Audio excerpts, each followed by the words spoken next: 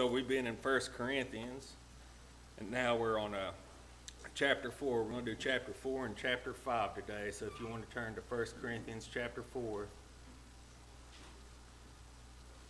While y'all are turning, I'll tell you, I saw this uh, old beat up station wagon. They had a bumper sticker on it. That bumper sticker said, Don't be fooled, my treasure is up in heaven. Amen.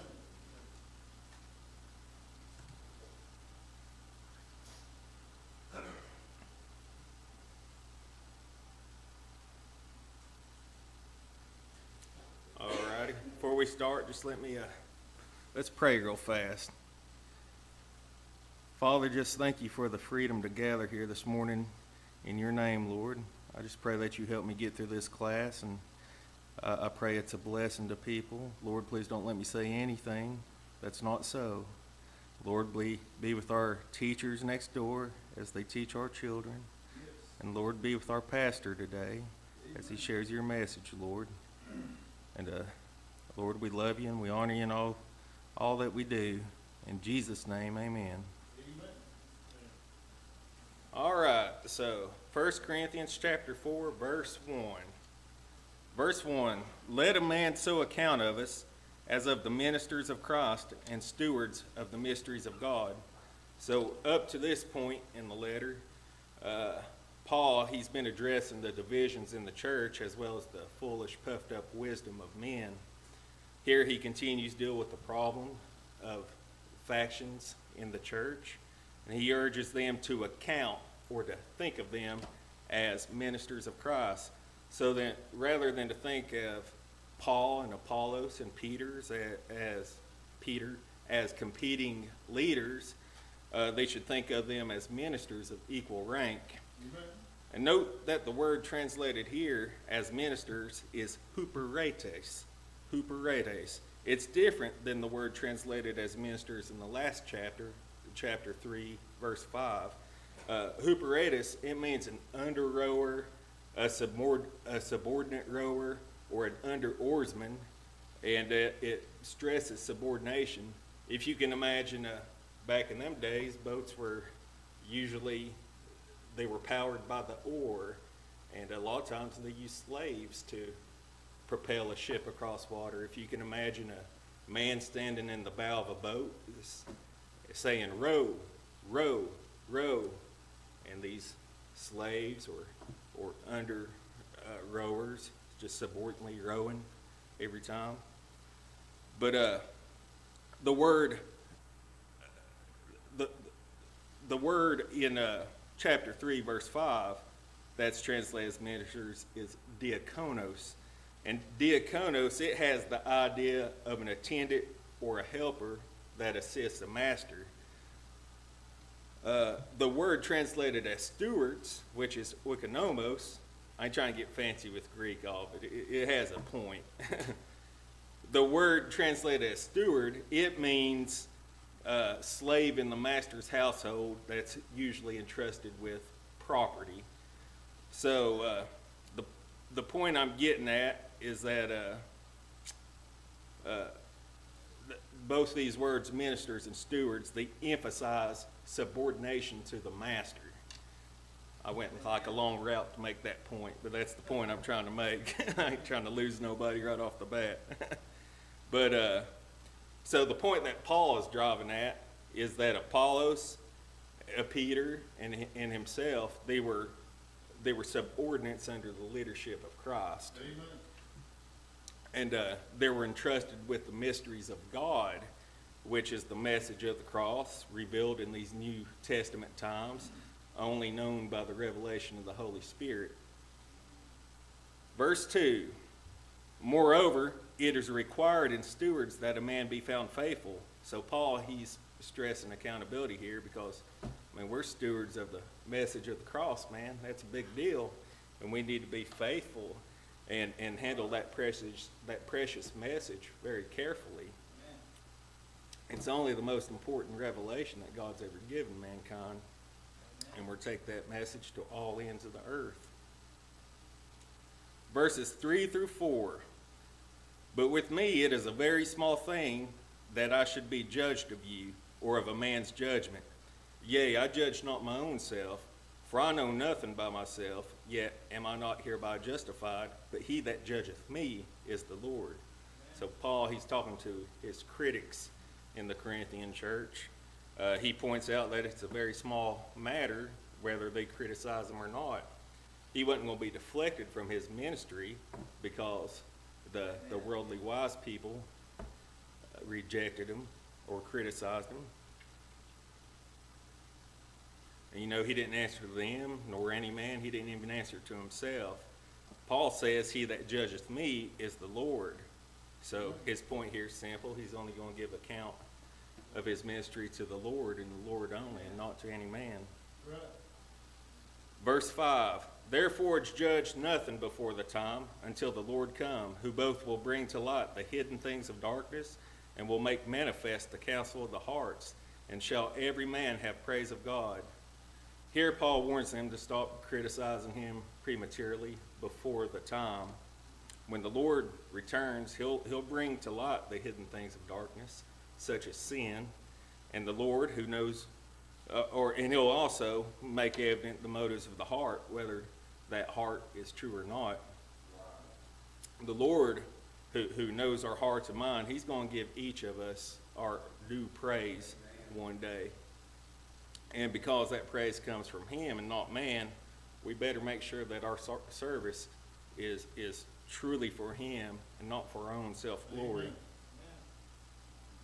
Verse 6 And these things, brethren, I have in a figure transferred to myself and to Apollos for your sakes, that ye might learn in us not to think of men above that which is written, that no one of you be puffed up for one against another.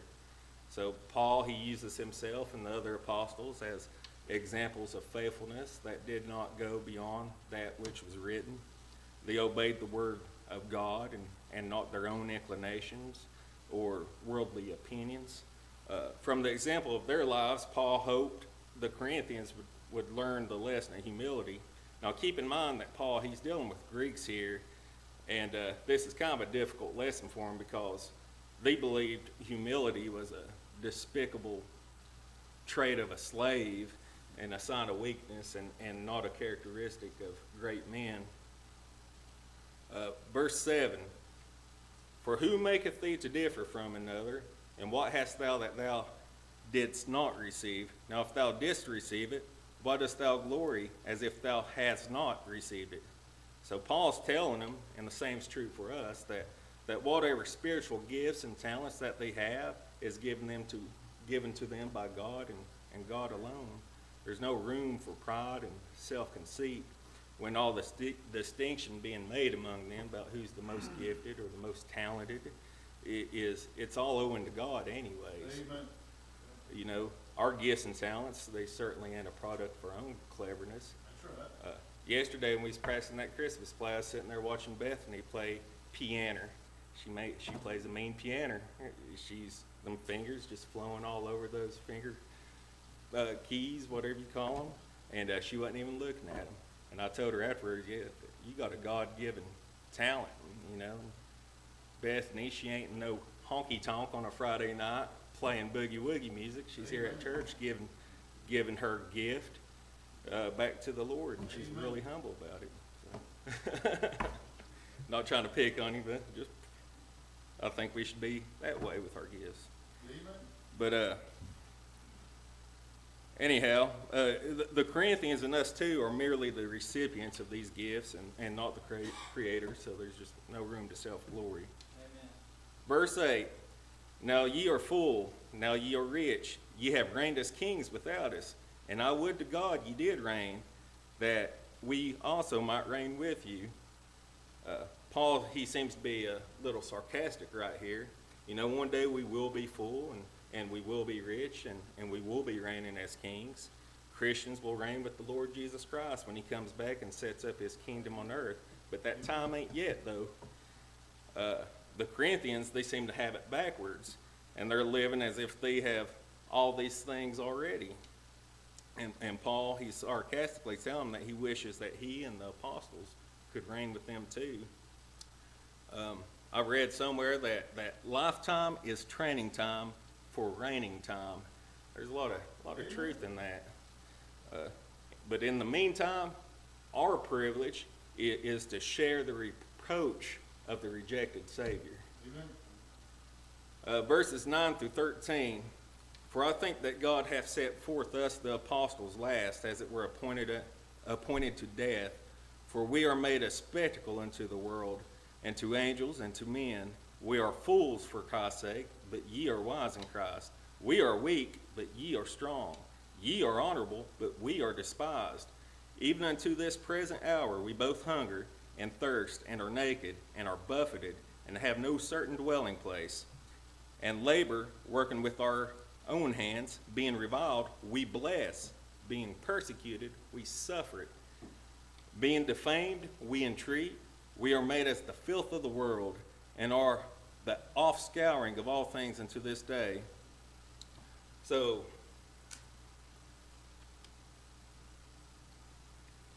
do y'all see the contrasting picture that, that Paul's painting between the apostles and the church there at Corinth?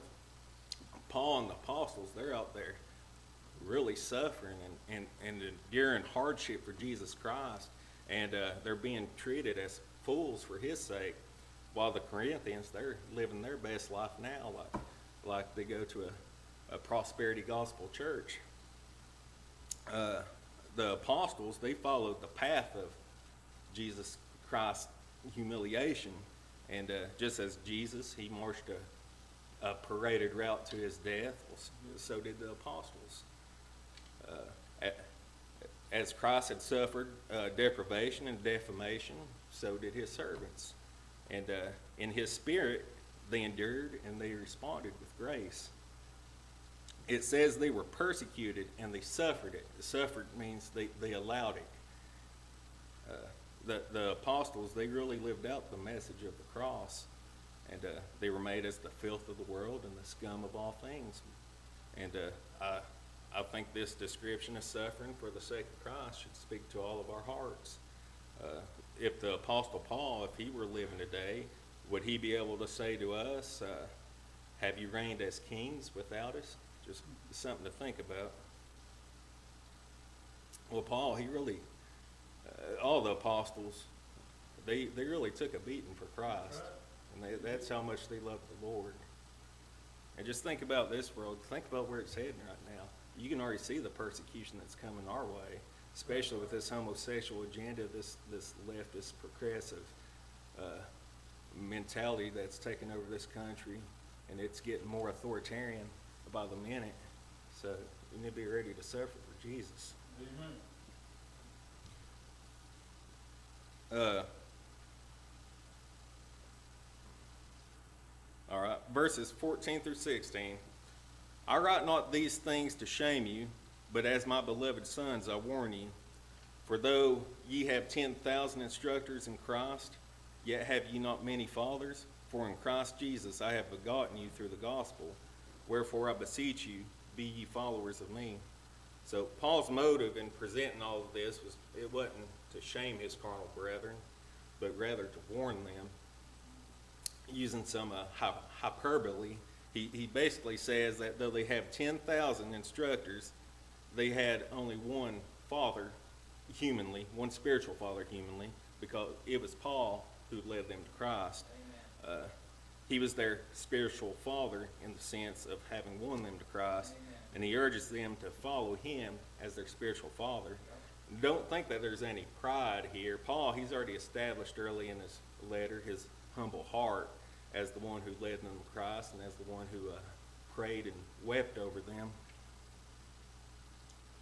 Verse 17 For this cause have I sent unto you Timotheus, who is my beloved son and faithful in the Lord, who shall bring you into remembrance of my ways, which be in Christ, as I teach everywhere in every church. So it's easy to tell by Paul's letters that he was real close with Timothy and he had much trust in him. Uh, and it's clear uh, in, in the other epistles that Timothy had remained loyal to Paul to the very end, and he never abandoned him when others did. Uh, if if you've read his epistles to Timothy, especially uh, Second Timothy, where Paul he's awaiting execution, he's in prison awaiting execution, and he's he's writing to Timothy, telling him how to carry on. You can see how much trust he had in Timothy. Uh, but anyhow, there's there's no doubt that if the Corinthians had any questions on how to follow the apostle Paul, Timothy, he would be there to clarify any problems that they had. Verse 18 through 20. Now some are puffed up as though I would not come to you, but I will come to you shortly if the Lord will, and will know not the speech of them which are puffed up, but the power. For the kingdom of God is not in power, is not in word, but in power. So when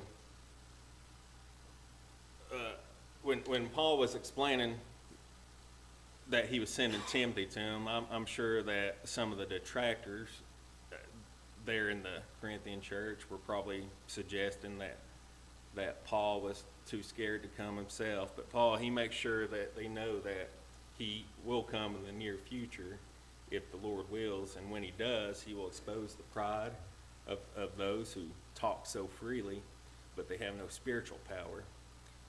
But, you know, after all, it's, it, it's power that counts because the kingdom of God, it's not, it, it ain't empty talk. It's, it's power, it's, it's meaningful action. Amen. Verse 21 What will ye? Shall I come unto you with a rod, or in love, and in the spirit of meekness? So Paul gives them an option on how they would like Paul, Paul to greet them. Should he come to them with a rod, which, which represents discipline and chastisement, or should he come to them in love and in the spirit of meekness? It's, it's their choice. They can either be rebellious or they can be, they can be humble and submissive. But anyhow, Paul, he now leaves this particular problem and he moves on in, in the next chapter to another problem. And sadly, the Corinthian church had more than their share of problems. So, uh, 1 Corinthians chapter 5, verse 1. It is reported commonly that there is fornication among you, and such fornication as is not so much as named among the Gentiles that one should have his father's wife. So apparently, one, in the, one of the men in the fellowship there at Corinth had committed sexual immorality, and clearly it was a, a very extreme form of sin, one that was not even practiced among the ungodly Gentiles. Specifically, the sin was that the man had illicit intercourse with his father's wife. So his father's wife is obviously his stepmother. And uh, an incestuous affair with one's stepmother, it's prohibited in both the Old Testament and it, it's also prohibited in Roman law too. And uh, this woman, she, she probably wasn't a Christian because nothing is said about disciplining her uh, verse 2 And ye are puffed up, and have not rather mourned, that he that hath done this deed might be taken away from among you. So, to make matters wor- worse, the, the church, they evidently was, they, they were aware of this sin and they did nothing about it. In this shameful situation, it didn't seem to faze the Corinthians in the least. If anything, they remained uh, uh, arrogant and bloated in their spirits. But the godly response it would have been to to grieve for this brother and and uh, and execute discipline, which would exclude him from fellowship with the congregation until he came to a place of repentance. Verse 3 For I verily, as absent in body but present in spirit, have judged already as though I were present concerning him that hath so done this deed. So Paul, therefore, he sent, he sent his judgment via long distance. Uh, although he was in Ephesus, he had already judged the matter as though he were present. Uh, he knew what needed to be done concerning this man. Verse 4 through 5 In the name of our Lord Jesus, Jesus Christ, when you are gathered together in my spirit with the power of our Lord Jesus Christ, to deliver such an one unto Satan for the destruction of the flesh, that the spirit may be saved in the day of the Lord Jesus. So, Here, Paul, he pictures the church being assembled together to take action against the offender here. And although he's not present bodily, he's there in spirit as they meet in the name of our Lord Jesus Christ. You know, Jesus, he's given authority to the church and, and to the apostles to exer- exercise discipline, discipline, discipline concerning these matters. Um, so, thus, Paul says he would act with the power or authority of our Lord Jesus. Now, although this man is to be delivered over to Satan, excommunicated from the church uh, for the destruction of the flesh, his soul can still be saved in the day of our Lord. So, whether destruction of the flesh means physical suffering or illness or disease that, that God allows to, to break a man of sinful lust and habits, or, or whether it's a description of slow death, which gives man a, a time to repent. Um, uh, we should remember that discipline of believers, it, it's always calculated in a way to, to bring about restoration to fellowship with the Lord. And the ultimate point is that his spirit may be saved in the day of the Lord Jesus Christ. There's nowhere in this section, there's no thought being given of the man's eternal damnation. He's disciplined in this life because of the sin that he committed, but he's saved in the day of the Lord. And I, I think this verse, it, it lends strong support to the doctrine of eternal security that we teach from the Bible in this church. Uh, verse 6 through 7. Your glorying is not good. Know ye not that a little leaven leaveneth the whole lump? Purge out therefore the old leaven, that ye may be a new lump, as ye are unleavened. For even Christ our Passover is sacrificed for us. Paul, now he's reprimanding the Corinthians for their glorying and, and boasting. They should have known that a little leaven leaveneth the, lo- the whole lump. A little leaven, such as yeast or baking powder, it will affect the whole batch of dough and cause it to rise. Uh, leaven here is a picture of moral sin. Paul's saying that if they tolerate a little bit of sin in the church, it will soon grow and expand and until the whole church is seriously affected as a whole. Uh, righteous and godly discipline, it, it's necessary in order to maintain the character of the church. Paul, he don't tell them to, well, just try your best to do a little better. No, he commands them to purge out the old leaven, Yep. purge it out. You know, they, they should take stern action uh, against evil so that they may be a new, pure lump. Then Paul, he adds, since you are truly unleavened, since they are in Christ, God sees them as holy and, and righteous and pure. So what Paul is saying is that their state should should correspond to their standing. Right. You know, they're unleavened because they're in Christ. And they should also be unleavened in practice, right? Uh, Jesus Christ, who is who is the sinless Passover lamb, who was sacrificed for us in the purity of his sinlessness. Uh, flagrant sin, it shouldn't be tolerated. It, it, it shouldn't just be in the midst of the church being being tolerated because it, it's truly it's a violation of the pure character of Christ's body. Hope I made sense right there. Uh, verse 8.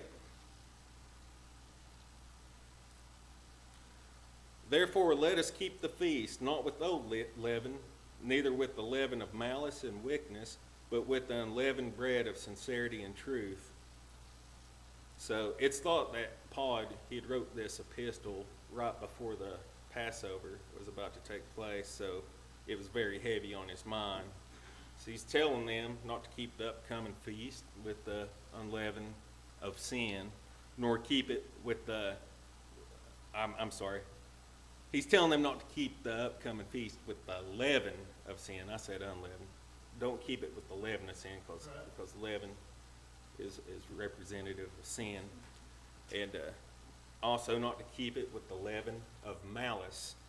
Which is probably a reference to the disunity and factions there in the church. And don't keep the, the feast with the leaven of wickedness, which is probably a reference to the man who just committed this sexual immorality. He tells them, keep the feast with the unleavened bread of sincerity and truth. Verse 9.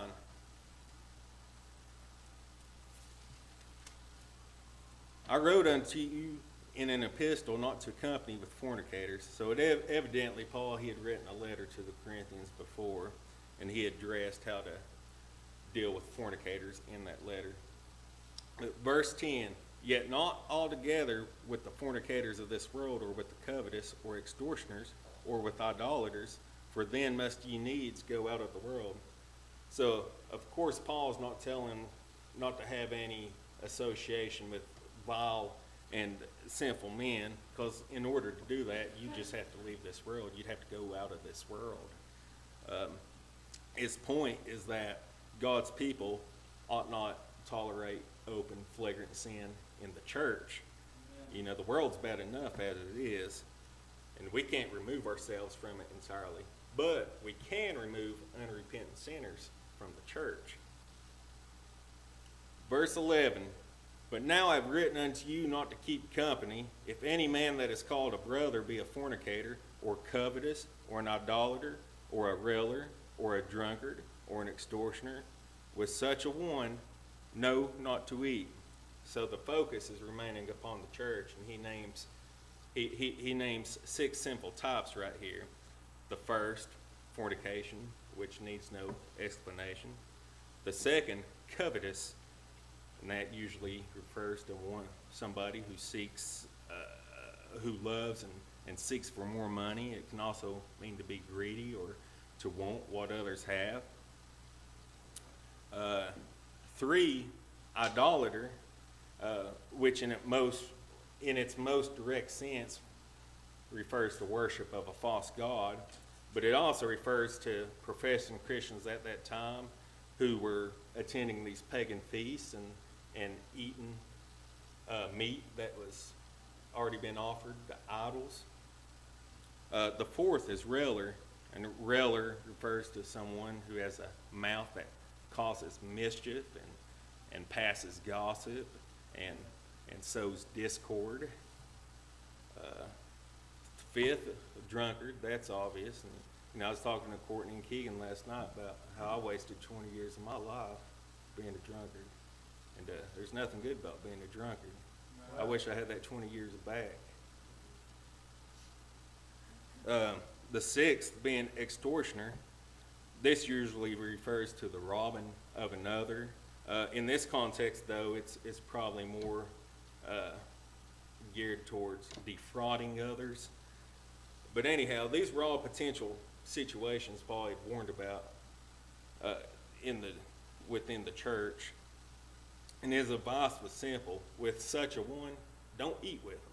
Don't, don't break bread with them. Don't eat with them. And the greater idea is just don't have fellowship with professing Christians who engage in such behavior. Uh, verse 12 For what have I to do to judge them also that are without? And his point here is simple. Don't worry about passing judgment uh, on them outside of the church, those that are in the world, uh, but rather their concern should be to judge them that are within. Because, verse 13 says, But them that are without, God judges. Therefore, put away from yourselves that wicked person. And uh, I'll close right there on the apostles' words, and y'all's dismissed.